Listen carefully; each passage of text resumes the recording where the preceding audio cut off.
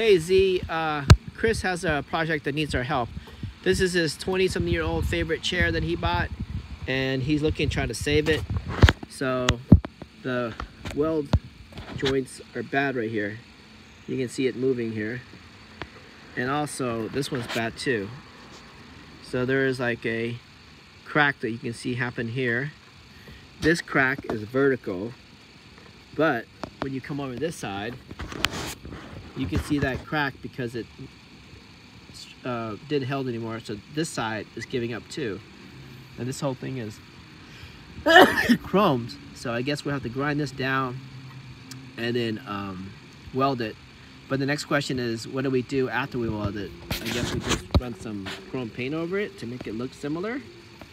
Um, he said he doesn't care about the cosmetics as long as it works. So that's that. Thanks, Z.